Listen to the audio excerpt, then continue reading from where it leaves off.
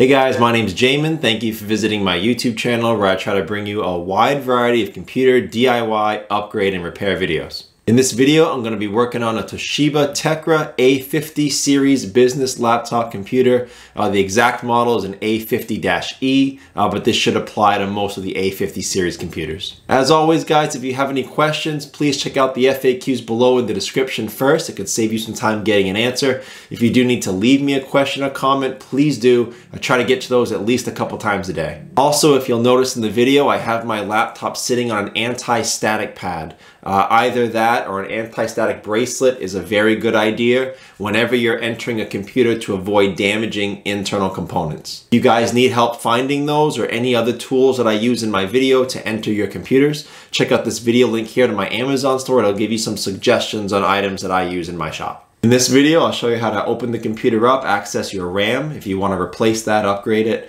Uh, I'll also show you how to get into the computer a little more by removing the bottom case and accessing the internal components like your solid state drive. Okay, so my computer's been turned off. It's been placed on an anti-static pad as mentioned earlier. The next thing we want to do is take out your battery. You want as little power running through the computer as possible whenever you do anything to it to also avoid damaging components. So we're going to slide both of our battery clips to the unlock position and remove the battery.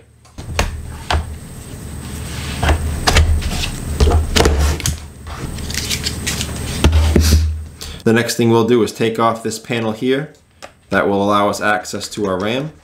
It's just that single screw. I'll take my plastic pry tool, and pop that up, set that aside. And there's our RAM. So this is how RAM in laptop computers usually looks. You'll usually have one or two ports. On larger computers you'll have more, but they're both designed the same way. They come with these spring-loaded metal arms on the edges of the RAM. That's what holds the RAM in place. To remove the RAM, you would push apart those metal arms and the RAM stick would pop up like that. And then you would just slide the RAM out. You can see it has a long port and a short port um, so you can't put it in incorrectly. You've got to line those up. To put it back in, you just slide it in, make sure it's flush, and then snap it down, and the arms would reattach. So the other screws, they're located all around here, two there, a bunch on this side, more along that hinge, one there, two there, one there, and a bunch in the middle. So there's a lot of screws in here. I'm gonna go through and take those out.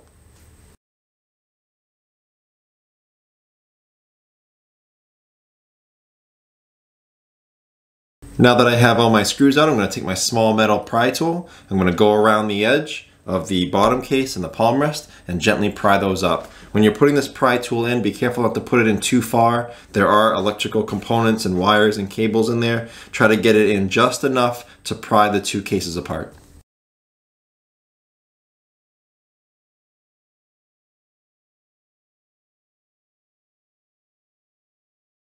I had a little trouble with that screw. That screw wouldn't come out. Uh, the threading seems to be damaged in there, so I had to put my hand under it and, and push the case up as I was unscrewing it. Hopefully you guys don't have that kind of a problem. And this is the inside of your computer. Okay, so there's your solid state assembly box right there. It's plugged in by a ribbon cable that goes into your motherboard here. I'll zoom in and show you how to detach that. As you can see, there's a white port on the motherboard. The ribbon cable comes in here and there's a black clip that slides over the ribbon cable to fasten it down. It sort of slides down like this, like that. And then the ribbon cable is held under it. To release the ribbon cable, we're gonna pop the clip up and then slide the ribbon cable out.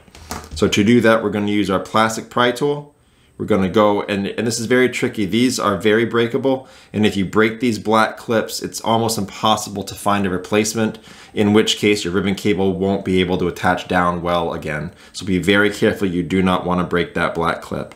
So I'm just gonna pop that up like that, slide the ribbon cable out, and now this frees up our solid state drive box like that. So if you were replacing your solid state drive, you'd pull this out, put your new one in, and it's as simple as that. Not a terribly complex operation. And it's not fastened down or anything in there. It's it's it's cushioned. You can see cushions there, cushions on the side. So it kind of squeezes in, uh, nestles in there. And then you take your ribbon cable, you would slide it back into that port.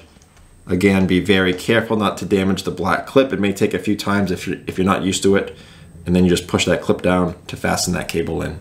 So that's the video guys. Thanks so much for watching. I hope it was helpful in whatever project you're at. Again, keep in mind there's FAQs below in the description. I do try to keep those updated, so check it out if you have any questions. If you don't see your question and you want to leave me a question or comment, again, feel free. I try to get to those as often as I can. Thanks so much for watching guys. I look forward to seeing you on my next video.